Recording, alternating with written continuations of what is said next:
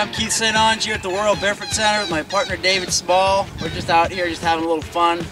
What is it, January 8th today? Uh, beautiful weather. Water's a little chilly, so you know what we like to do? We like to just jump out of the boat, do some tricks, jump back in. I'm gonna show you guys how to do that right now. There's really not much to it. The biggest trick of the whole deal, jack the boom up. Put that boom super, super high, get all that upward pull, and you're gonna be golden.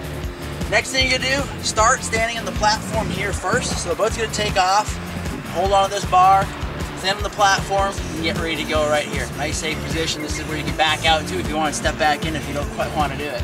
Next thing is, is, is as you jump off, or it's more of a just kind of a, a plop off, you want to actually jump off to the side. You don't want to jump forward. You want to keep this rope taut. That's, that's another big secret.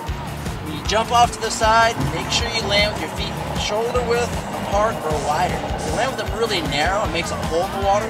So if you go down on your butt, your butt will go into that hole and very abrupt landing. So I'm going to do this a couple times, show you how to do it, and uh, and come back into the boat as well. Coming back in, depending on your rope length or what boat you have this one we get set up where we can just come right in and just step in and just sit right here on the side. Other boats, you can actually step into the boat or you can step back onto the platform. But just be careful the chine spray Come off the boat because that can trip you up.